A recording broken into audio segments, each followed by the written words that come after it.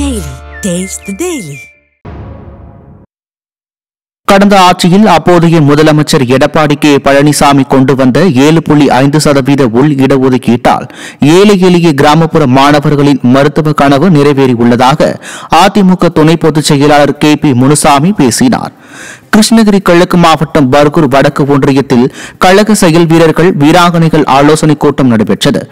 இக்கூட்டத்தில் கழக துணை பொதுச் செயலாளரும் முன்னாள் அமைச்சருமான கே பி முனுசாமி கலந்து கொண்டு சிறப்புரையாற்றினார். முன்னாள் சட்டமன்ற உறுப்பினரும் ஒன்றிய செயலாளருமான சி வி ராஜேந்திரன் வரவேற்புரை ஆற்ற மாவட்ட செயலாளர் அசோக்குமார் தலைமையில் நடைபெற்ற இக்கூட்டத்தில் முன்னாள் நாடாளுமன்ற உறுப்பினர் பெருமாள் முன்னாள் சட்டமன்ற உறுப்பினர் முனி வெங்கடப்பன் மற்றும் கழக நிர்வாகிகள் பலர் கலந்து கொண்டனர்.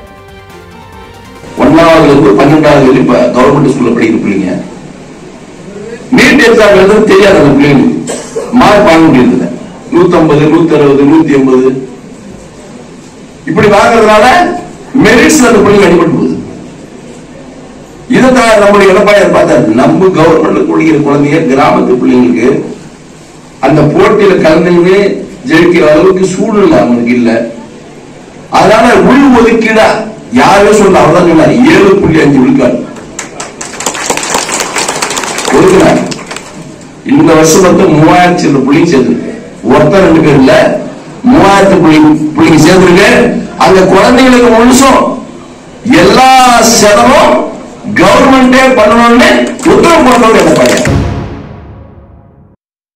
சென்னை புறநகர் மாவட்டம் குன்றத்தூர் கிழக்கு ஒன்றியம் கெருகம்பாக்கம் ஊராட்சியில் அதிமுக பூத் கமிட்டி நிர்வாகிகள் ஆலோசனைக் கூட்டம் நடைபெற்றது.